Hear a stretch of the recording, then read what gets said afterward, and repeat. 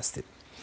و اما 57 سرنشین هواپیمای اوکراینی شهروند کانادا بودند. همونطور که اشاره شد از روز حادثه تا حالا هم چند مراسم یاد بود برای اونها در شهرهای مختلف برگزار شده از جمله در دانشگاه هایی که بعضی از این قربانیان در آن تحصیل کرده بودند. در دانشگاه تورنتو هم دیشب با حضور رئیس این دانشگاه گرد همایی رسمی برای شش دانشجوی درگذشته این حادثه برگزار شد. بهمن کلباسی با این جمع و خانواده و دوستان پنج مسافر دیگر این پرواز مرگبار گفتگو کرده عصر غمزده دانشگاهی که شش دانشجوی برجسته ایرانی کاناداییش را به یک باره در پرواز هواپیمای اوکراین از دست داد و حالا راه کمی التیام دور هم آمدن دوستان، همکلاسی ها و استادان آنهاست. گر ز دلبر آرم آتش از دلم خیزد چون ستاره از مژگانم آه آتشین همه آرزویم اما چه کنم که بسته پایم به کجا کلیشه تابم سوگ استاد برای دانشجوی دکترایی که می‌گوید از بهترین ها بود طور خاص محمد امین اینجا دانشجوی دکترای کامپیوتر علوم کامپیوتر بود از سال 2017 تو گروه من کار می‌کرد. کارش طراحی کنترلر برای نسل بعدی اینترنت بود. بسیار آدم متواضع بسیار آدم آروم و در این حال بسیار آدم موفق از نظر علمی کاری که داشت می‌کرد کاری بود که اثر خیلی بلند مدتی می‌تونست داشته باشه روی آینده اینترنت. در گوشه دیگر شهر دوستان سالیان و سال خانواده‌ای که چهار عضوش را از دست داده در ناباوری به ازا نشستند. پنج سالش بود صوفی. شون در تماس بودین؟ باشه ندم گفت چهار تا گلم چهار تا گلم از دست دادم. می‌گفت می‌گفت سهندم الوندم نگارم صوفی نگارم. هم اسم عروسشو می‌گفت. خیلی باور نکردنی بود. سنگینه خیلی می‌دونی؟ خیلی سنگینه. اتفاق گند عجیبیه. اینکه چه جوری این هواپیما صعود کرده آیا فرقی به حال آدم می‌کنه؟ فرق می‌کنه. چه فرقی ببین خب اتفاق پیش میاد. آدم راحتتر می‌تونه بپذیره که یه اتفاق حالا نقص فنی یا هر چیزی ممکنه پیش بیاد مثل هر کسی پیش بیاد و خیلی دردناکه. ولی اگر که اشتباه بوده باشه و یه چیزی که به راحتی میشه جلوش رو گرفتون شرایط سخت باید فرودگاه ها خام فرودگاه ها تعطیل می‌شد می‌دونی به راحتی می‌تونست این اتفاق جلوگیری پیدا بکنه. و این سخترش این خیلی سخترش می‌کنه. سختی مضاعفی که فرزندان یک قربانی دیگر سقوط هواپیما نیلوفر صدر حاج جوادی نمی‌خواهند به آن فکر کنند. مادری که نه به خاطر شهرت پدرش احمد صدر حاج جوادی وزیر دادگستری دولت مهندس بازرگان که به سبب عشقی که به همه اطرافیانش میورزید. جایش بسیار خالی است. عشقی که تو وجود مامانم بود بی نظیر بود. یعنی احساس می‌کنم استثنایی بود. منم دو تا بچه دارم. گاهی عصبانی میشم با بچه هم مامانم همیشه می‌گفت نه آسی عشق باید باید عشق انتخاب کنی یعنی اون هیچ جای سوالی نبود. یعنی هیچ option alternative دیگه وجود نداره چطور می‌تونی عصبانی باشه و این برخوردش با همه بود. احساس می‌کنم هر جایی که رفت از هر جایی که گذر کرد از هر شهر کشوری community اصلا این عشقش گرم می‌کرد. فضا رو و همه اینو تایید می‌کنن. پیغامایی که می‌خونی و توصیفایی که دوستا شد دوستامون ازش می‌کنن اصلا نقدر دلگرم می‌کنن. آدمو که میگم خوش به حالش کاش بتونم اون لگسیش رو حفظ کنم و ادامه بدیم. چطور میشه؟ و این سال خیلی برم پیش میاد. فکر کنم عشق خالص بود. به خاطر کاری که توی این گالری خاله من می‌کرد ماما چند سال اصلا یه اصلا ما موندیم که چقدر آدم دارن همینجوری رو فیسبوک و سوشال میدیا پست می‌کنن. اصلا ما نمی‌شناسیم اینا رو. اصلا خب میگم اون واسه خودش اصلا جدای از با بزرگم و ما و, و فامیل نیکنام و سر. اون اصلا واسه خودش نیلوفر صدر اصلا یه یکی از دوستان توی مراسم تهران خونه پدر بزرگم دیشب حرف زده بود. یه حرف قشنگی که زد که منم بهش فکر می‌کنم.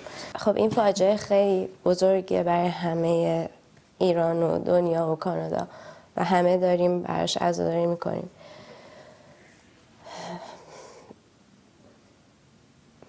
این خانم تو حرفاش می‌گفت من مطمئنم نیلوفر توی هواپیما همون چند لحظه ای هم که ترسی بوده مطمئنم داشته مادری می‌کرده تو هواپیما واسه مسافرهای دیگه.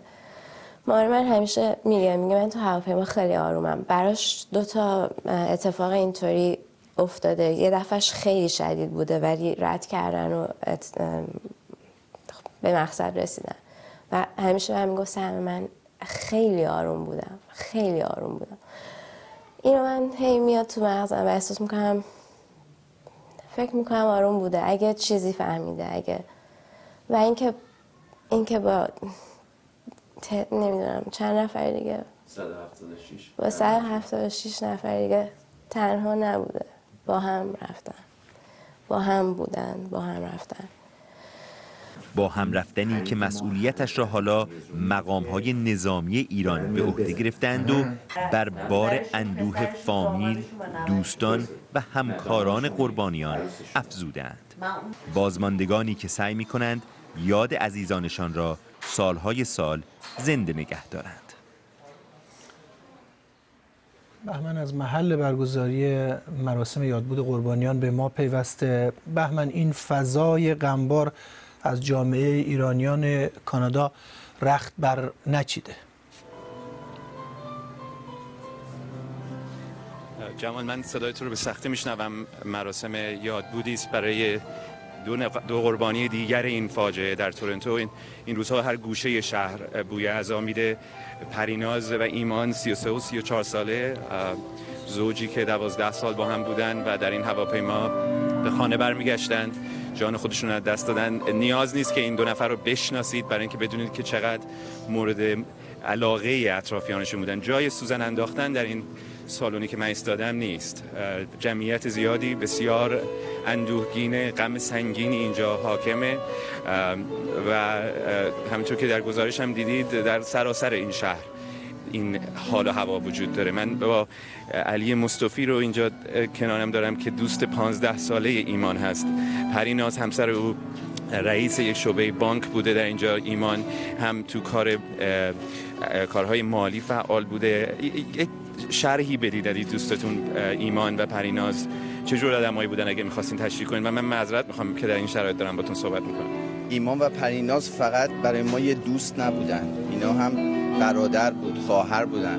یه تکیهگاه بودن. نه برای من برای همه دوستای ما. یعنی الان اگر از دوستان ما سوال کنید هیچ کی نیست که خاطره بدی از این آدما داشته باشه. یعنی هم آدمای ساده بودن هم آدمای اکتیو فعال بودن. آدمایی بودن که تو این سن جوونی با این حال خیلی خوب پیشرفت کرده بودن. خیلی خودشون خوب با جامعه تطبیق داده بودن. خیلی همراه بودن. همه جا بودن ولی این بودنشون فقط باید کمک کردن بود. می‌دونید چی آدمای بودن که تو این جامعه جز افتخارات ما بودن. و میگم متاسفانه این اتفاقم جوری افتاد که حتی ایشون سفری که رفتن برای دیدن مادر پریناز سفر رو جلو انداختن به خاطر اینکه هم خواهرشون داشت وزن هم می‌کرد همزمان با اون پرواز. همین که خانومشون به خاطر حالا اون امتیازاتی که برای شعبه آورده بودن تونسته بودن یه کروز برنده بشن و اینا می‌خواستن به اونم برسن. این پرواز رو جلو انداختن. خب متاسفانه این اتفاق براشون دست تقدیر من اتفاقا با یک خانم دیگر اینجا صحبت می‌کردم که می‌دونم تو کار خیریه فعال. گفت وقتی پریناز رو توی بانک دیده بوده او خودش بهش تماس گرفته بوده که ما می‌خوام بودجه که بانک کنار گذاشته بوده برای خیریه رو کمک بکنیم. و بعد وقتی بانک به خاطر مسائل تحریم و اینا نتونسته اون خودش و ایمان خودشون کمک کردن به این خیریه که از بچهای یتیم در ایران حمایت می‌کنه. واکنش شما خانواده همه از این به این اخبار امروز معذرت می‌خوام که دارم این سوال بزن می‌کنم. ولی به حال چیست وقتی میشنوید که دولت ایران حکومت ایران پذیرفته که این این جنایت به خاطر اشتباه اونها رخ داده؟ ببینید من اول از همه سوالم اینه آیا جان انسان ها اینقدر بیارزش شده الان؟ آیا ما در عرض چند روز گذشته این همه باید تلفات بدیم؟ و آیا اون ارگانی که مسئول حالا پشت اون دستگاه نشسته یا مسئولونه آیا باید اون تمرینات لازمه رو داشته باشه که نمی‌دونم این اتفاق چیز ساده ای نیست. اینا بچه‌ای بودن که ما خب مادر پدر این یه اون باید با این غم زندگی کنن. این جامعه خیلی آدم از دست دادن. دیگه حالا نمی‌دونم بعد این سوال بر ما پیش میاد که آیا لازمه این یه چیزای عوض بشه؟ سپاسگزارم از لطفتون. بهتون صبر بده ان فردا هم مراسم دیگری در دانشگاه تورنتو برگزار میشه. جمال در شهر ادمونتون همینطور 13 دانشجو اونجا فوت شدن در دانشگاه در شهر وینیپگ در استان منیتوبا. باز هم اونجا ایرانیانی ایرانیان کانادایی که جانشون از دست دادن جمعیت رو عزادار کردن. قصه کانادا از شرق تا غرب در این روزها ایرانیان این کشور هست که داغدار و بهت زده هستند در پس این شرایط. ممنونم از بهمن کلباسی از یک مراسم غمانگیز و صد البته پر از اندوهی که در میان ایرانیان و همینطور تعدادی دیگر از مردمی که ابراز همدردی می‌کردن با دو تا از قربانیان این حادثه برگزار شده